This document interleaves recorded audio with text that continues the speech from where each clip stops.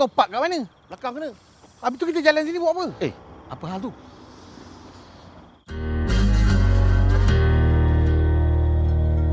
Eh, bang kau terkejut. Dek, apa hal dek? Nak mana? Saya ni kenduri ni bang. Tiba-tiba Betul? kita ni rosak pula. Ya. Saya dah call bapak saya banyak kali. Dek, minta maaf dek eh. Um, bapak adik ni toki tow truck ke? Eh, confirm lah tak bang. Habis tu kau nak call dia buat apa? Kau nak suruh dia tow kereta dia macam mana? Pakai tangan? Eh, dek. Huh. Kereta kau ada pelindungan etika. Ah, maknanya etika boleh uruskan semua sekali kau tahu. Towing for free kau tahu tak? Leceh abang. Pasal tak? Nak kena call sana lah, call situ lah. Nak jawab call sana lah, call sini lah. Nak tunggu truck lagi. Kau ni cepat sangat give up lah. Jangan risau lah dengan etika. Semuanya settle. Fast.